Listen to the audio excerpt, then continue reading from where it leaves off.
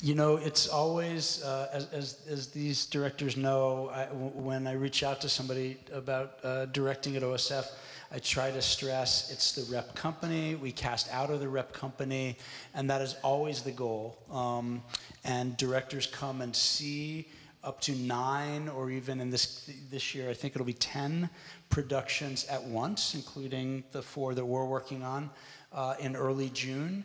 And uh, we do try to cast out of the current company. With that said, as, as you all know, I have uh, fairly eclectic taste.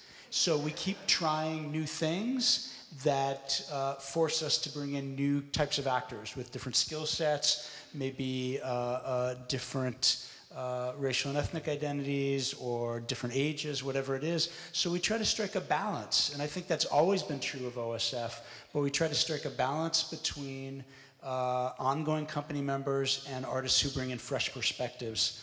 Um, last year to this year, uh, turned out through a lot of different factors to be one of the largest um, turnovers in the acting company.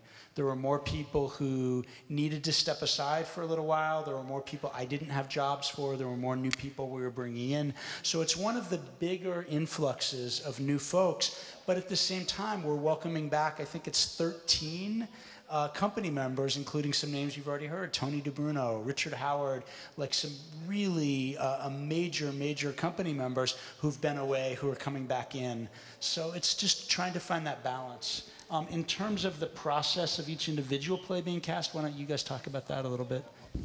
Yeah, so uh, so it goes like this. You say, so I saw all the plays, Bill, and I think these 13 people would be so good in my play. and, and, Bill says, yeah, okay, well, let's see. And so by the time we go through the months-long process, kind of two of those people show up in your play. and the other 11 are better than your first idea was anyway. And, and so it's such a, it is, a, it is the most, it is an iterative, sometimes cumbersome process to find your way there. And then it's like, well, yeah, that person will be here. And then Bill would call and say, well, do you want the good news or the bad news? It's like, the good news is you have this person, this person, this person. The bad news is that person's got to go into Mary's show.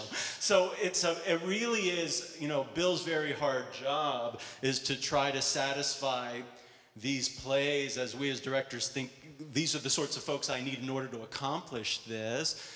And of course, it's a company, and companies, you know, there are 11 plays that have to be made here, and how it gets spread across the season is, uh, is its own factor. But I, I, I, can, I can only say this, I, I share this so nakedly, only to be say, because I also told Bill when I got here, I, I wouldn't trade one person in my cast for someone else. You know, so the outcome is superb, but the journey's a, a terrifically challenging one.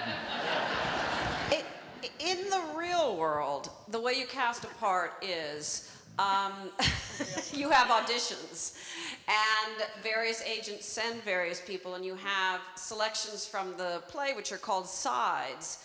And people come in and read for particular parts, and sometimes you're not interested, or you think, well, maybe for another part, you have callbacks and this and that.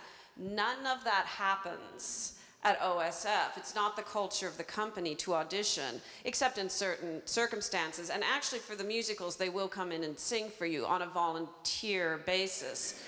Um, so my experience of casting at OSF is you, you come in in this fog of five days, see nine plays, and you know, they're all four and a half hours long because of the classical nature of the repertoire. you like stagger up the hill to your apartment and then like it's time to turn around and stagger back. Um, and then three months later, Bill calls you and says, how about so-and-so? And you're like, what did, what did they do again? Um, so it's a very different magical process. Here. How actually, the more that you've directed here, like it's exponentially easier the second time than the first. Like exponentially because you've not only worked with a bunch of them, you've seen a lot more of the shows, you've met them around town. You you have a sense of it, it just it's so much easier the, the second time around. And I'm sure as you go on, you don't have any of that. Who is that? You don't have any any of that, any of that anymore. I'm proud the guys and dolls, often the musical does bring in what we call in the biz a ringer, which means the wonderful soprano, um, you know, someone who, who's specially talented in some area. But we actually are doing Guys and Dolls entirely from within the company, not going out not auditioning anyone.